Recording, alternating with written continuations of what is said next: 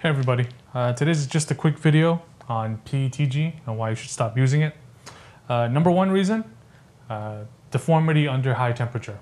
Okay, so PETG will start to deform somewhere around 50C to 60C. Pretty much, if your pump failed and your loop was still going, um, not going, but sitting there, before your computer shuts down from overheating, there is a chance that your PETG will deform. And what I mean deform is it doesn't retain its shape, it falls out the fitting, and you have a leak. And that's even worse than if your pump just died and then your computer shut it off from, from being overheated. Okay? Uh, number two reason is clarity. Okay? So here's a piece of PETG. Uh, it looks real clear, right? It looks good until you compare it against acrylic. This is a piece of acrylic. Now you can tell side by side which one looks better. Okay, might be a little hard to see on YouTube, can't help that. But in real life, you can see if you hold it side by side, which one's PETG becomes real evident real quick. Now, why does this matter? If you're using certain translucent fluids or you're using pastels like bright orange, uh, something like that, it's gonna show up. And one's gonna look a whole lot better than the other. Um, PETG tends to have like a bluish hue to it, so on blue fluids, it's not as evident. So I'm gonna show you guys best case scenario, okay? This is blue pastel, all right? One of these, the longer one, is PETG. In person, I can tell just by looking at it. I'm sure YouTube will mess it up so much that it'll be hard to tell.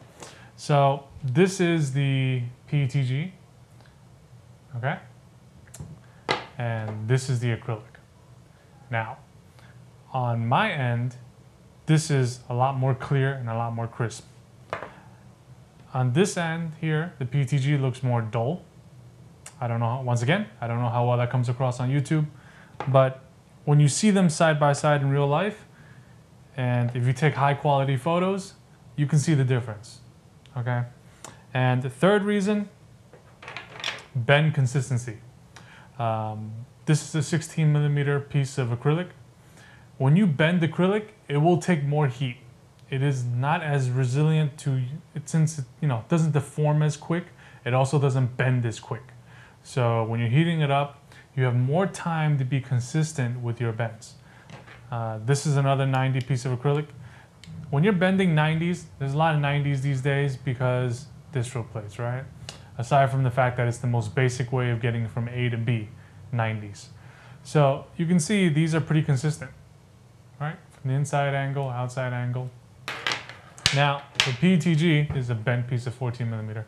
I don't have 16 millimeter PETG because by the time I switched to acrylic, I was using nothing but 16 millimeter and I had no reason to buy, you know, 16 millimeter PETG. Um, it, I've always found this to be not as easy to get the same 90 over and over and over again. Uh, if you're going for that look, then you really need to be consistent. And if you look at YouTube, there's a guy, Declassified Systems, his channel. He's like the master of bending 90s. Okay, the man has like this just simple acrylic rig to build to bend 90s, and every 90 degree bend looks the same. And I guarantee you, if you're trying to do that with acrylic, it becomes kind of tricky, even with a jig, because it it just doesn't take the heat the same way that acrylic does.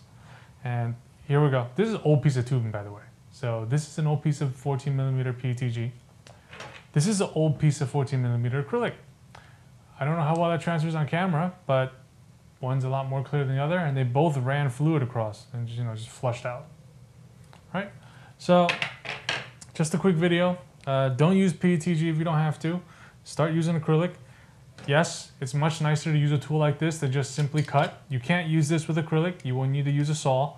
Um, saws are cheap handsaw from your hardware store. Costs no more than this. Uh, you can hold the tubing down on a table if you're steady enough with a steady table, or you're gonna have to get a little tube holder of some sort. But in the long run, you'll have one, a better looking system because the tubing will look more clear and the fluid will just pop more than it would if it was PETG. Two, your bends will look more consistent. Three, in the event that your pump dies, the chance of your tubing deforming and coming out of the fitting and causing a leak is even less. I think we've seen YouTubers have this problem. I won't say who, but a lot of YouTubers sprout leaks when something died or something overheated, and they're all using PETG. All right. And one more thing, people say acrylic is brittle. Okay, that's another thing I see a lot of YouTubers talk about acrylic being brittle. It's not brittle. Okay, um, cover your ears. Nothing happened, right? It's not gonna break. Can't snap it easy. It's not brittle. Okay, that's just BS right there. And you can always tell the difference too when you when you just place it on a table. You hear it, right? Versus acrylic. Versus this is also acrylic. Sorry. Versus PETG. Yeah, see, you can always tell by the sound too. But yeah, um, that's pretty much it. Thanks for watching, and uh, stay tuned for other stuff going on.